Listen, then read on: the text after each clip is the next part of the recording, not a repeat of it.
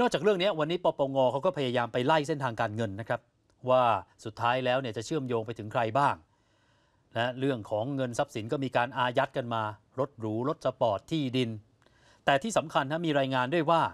จากการตรวจสอบเส้นทางการเงินของนายกันกันตถาวร หรือบอสกันเนี่ยพบว่าเขาถอนเงินสดออกไปครับ เมื่อวันอังคาร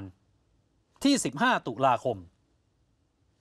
และที่สำคัญก็คือ เขาถอนออกไปก่อนที่ปปงจะอายัดเพียงแค่ไม่กี่ชั่วโมง เพราะปปงเนี่ยอายัดเย็นหรือว่าช่วงประมาณเย็นน่ะเย็นของวันอังคาร แต่กันเขาไปถอนเงินสดออกก่อน โอ้ยเหมือนนกรู้ เหมือนมีใครส่งสัญญาณออกมาบอกเขาก่อนหรือไม่ ว่าเดี๋ยวโดนอายัดแล้วนะ บัญชีอะโอ้ถอนเงินสดออกมาเลยล้านแปดไม่กี่ชั่วโมงแป๊บเดียวใช่ไหมครับอ่าโอ้